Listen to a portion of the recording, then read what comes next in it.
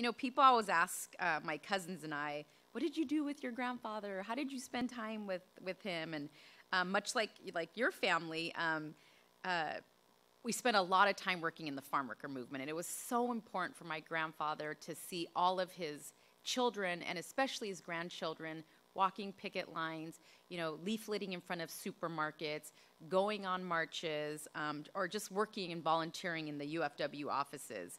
Um, he always used to tell us, guys, in this family, we don't have family picnics, but we have family pickets because we're all going to be on the lines together.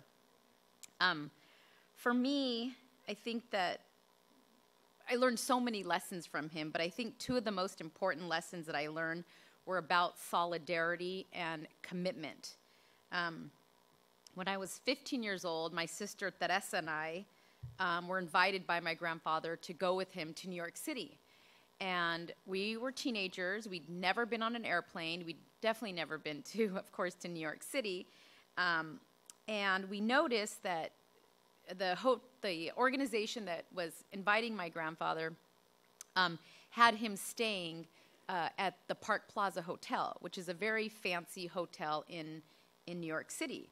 So my grandfather had this thing. He would never stay in, um, he would never stay in hotels. He, he said, no matter where we go across the United States, we can find a supporter and we can stay in their home. And there was actually a gentleman here today who reminded me that some of um, my grandfather's family actually did stay in their home. Um, but we were teenagers and we wanted to stay in the Park Plaza Hotel. So my sister Teresa and I um, come up with a plan to try and convince my grandfather to allow us to stay in the fancy hotel. So we ask him, and he says, absolutely not. There's no way we're staying there. We're going to stay at a supporter's house. So we beg and beg and beg, and finally he says, yes, we'll stay at the hotel. So we are so excited. We're imagining all the stuff we're going to do in this fancy hotel. It's going to be so wonderful. We're going to get room service, thinking of all these great things. So um, the host organization um, comes to pick us up. And we drive to the Park Plaza Hotel. And as soon as you get an eye shot of that hotel, there is a picket line of maids protesting their working conditions.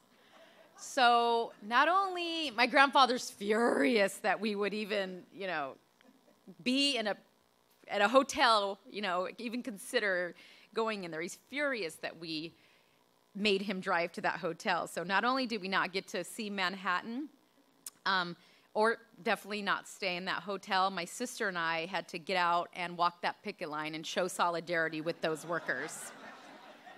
Um, so to this day, I've never forgotten that. So anytime the you know the hotel employees, restaurant employees union calls, or the Justice for Janitors union calls, we are right there, front and center, continuing to show that solidarity.